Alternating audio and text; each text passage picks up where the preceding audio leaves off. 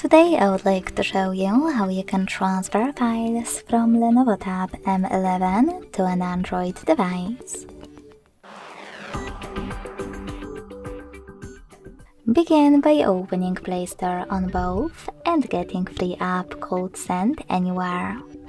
When it's ready, open it.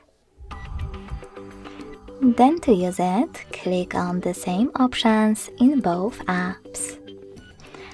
Firstly, I agree and I acknowledge. Then confirm. Continue and allow.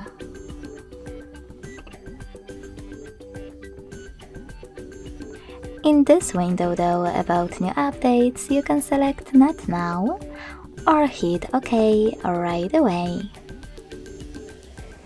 Now just tap on your screen and select send at the bottom left corner of Lenovo. Then receive right next to send at the bottom of an Android.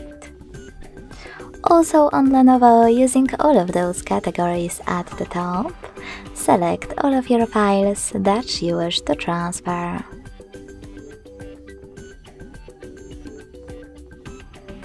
Then hit send next to selected at the bottom and choose got it in here's some tip pop-up. Now it's time to decide which connection way will be better for you. To connect by inputting this key, click on Input Key section.